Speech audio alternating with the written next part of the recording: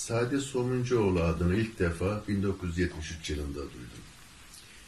Ortaokul öğrencisiyken Büyük Ülkü Derneği'ne gider, abonesi olduğumuz Bozkurt dergisini alır, okur ve arkadaşlarımıza dağıtırdık. O zaman ortaokul 3. sınıf öğrencisiydim.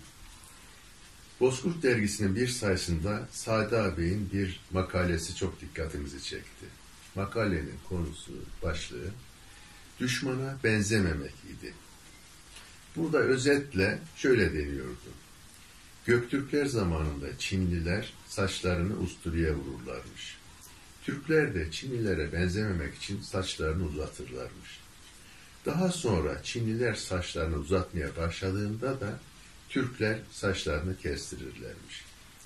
Burada bize verilen mesaj, düşünce, eylem ve hayat tarzının yanında şekil ve dış görünüş olarak da düşmana benzememenin önemiydi. Sade abi 1977 seçimlerinde Niğde milletvekili, arkasından da Milliyetçi Cephe hükümetinde devlet bakanı oldu. Biz kendisini daha yakından takip etmeye, yazılarını ve konferanslarını ilgiyle izlemeye devam ettik. 1978 yılında Ankara'ya geldiğimde kendisiyle bizzat tanışma imkanımız oldu. Özellikle o dönemin hükümeti ülkücülere yoğun baskılar yapmaktaydı. Bu baskıları telin için 15 Nisan 1978 yılında Tandoğan'da bir miting tertiplenmişti. Ancak biz bu mitingin bildirilerini dağıtırken Polderli polisler tarafından işkencelere maruz kalıyor, coplanıyor ve toplanarak emniyete götürülüyordu.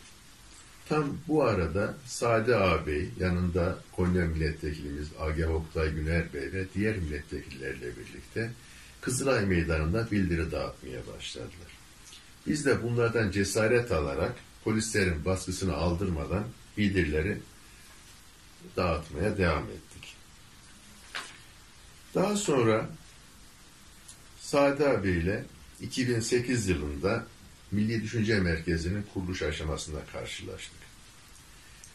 Sade abi tarafından kurulan Milli Düşünce Merkezi'nin amacı Türk milletinin kalkınmasına, huzuruna, refahına, birlik ve bütünlüğüne hizmet etmek için kurulmuş partiler üstü bir dernekti.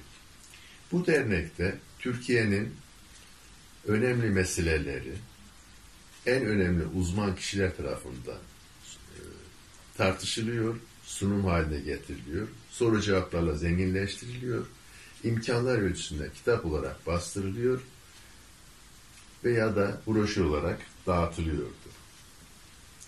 Sade Bey 1999 yılında Cumhurbaşkanlığı seçimi sırasında kendisine yapılan haksızlıkları dile getirdiğimizde bizi kesinlikle bu konuda konuşturmuyor ve o benim şahsi meselem. Lütfen siz benim şahsi meselemle ilgilenmeyin. Memleket meseleleriyle ilgilenin. Ülkemizin kalkınması, gelişmesi, birliği, dirliği, refahı için çalışın diye bizi her seferinde uyarmıştır. 25 Aralık 2021 yılında Milli Düşünce Merkezi'nin genel kurulu yapıldı. Burada Sade Bey geldi ve çok hastaydı. Kısa bir konuşma yaptı. Konuşmasında özetle birlik, bütünlük ve kardeşlikten ayrılmamamız gerektiğini bizlere tavsiye etti. Ve maalesef bu hastalığının e, artık geri dönülemez bir sonuca gideceği belli olmuştu. Kendisini 28 Şubat 2022 tarihinde kaydettik. Sade Bey'in gençliğin yetişmesinde, özellikle bizim neslin, bizim kuşağın yetişmesinde çok önemli katkıları olmuştur. Ve emekleri ödenmez. İnşallah bizler hakkını helal eder.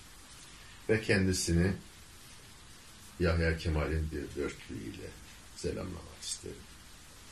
Ölüm asude bahar ülkesidir bıcında.